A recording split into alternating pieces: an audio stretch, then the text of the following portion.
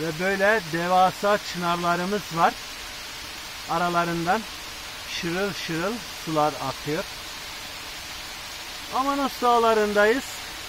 Bu güzellikleri yaşamaya devam ediyoruz.